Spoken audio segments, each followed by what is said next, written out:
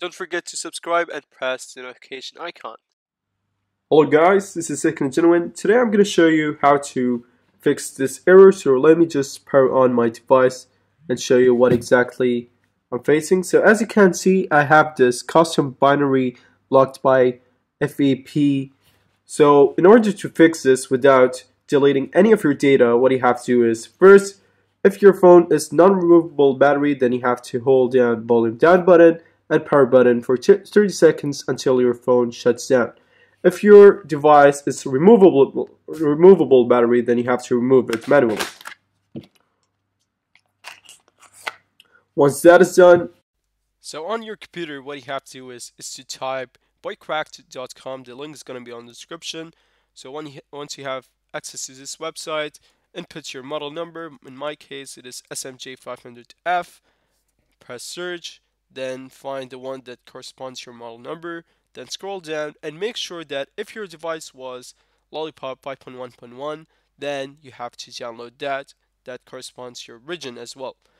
However if your device is Marshmallow 6.0.1 then what you have to do is is to close this window and type mrcrab.net and from here you have to input your model number. Then you should so I'm just gonna show you an example here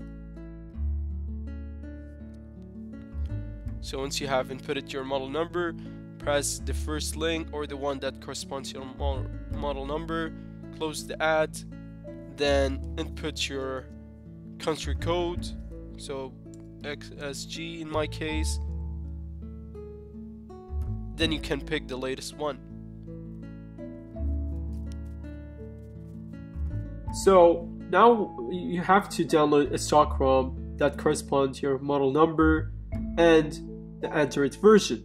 So once that is done and you have downloaded the Odin and StockROM, what you have to do on your device is, if your device is non-removable battery, then you have to hold volume down button and power button for 30 seconds until the screen is turned off.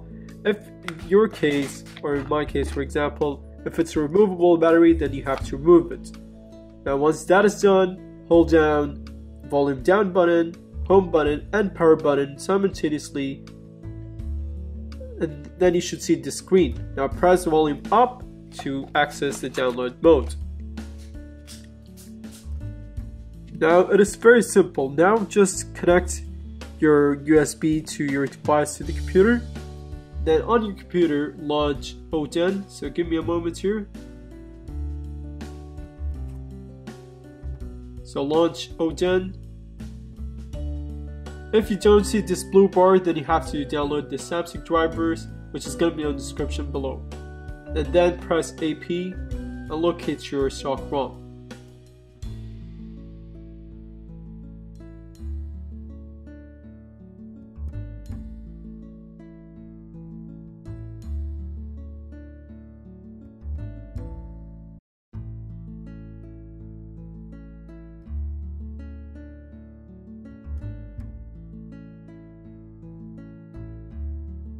Disconnect the USB cable once you see a pass indicator.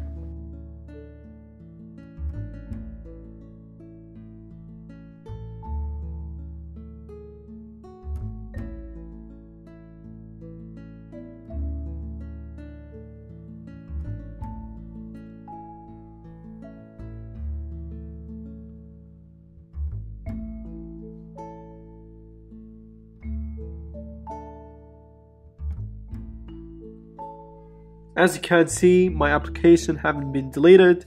So you can see right here, all of my application are present and nothing are is deleted.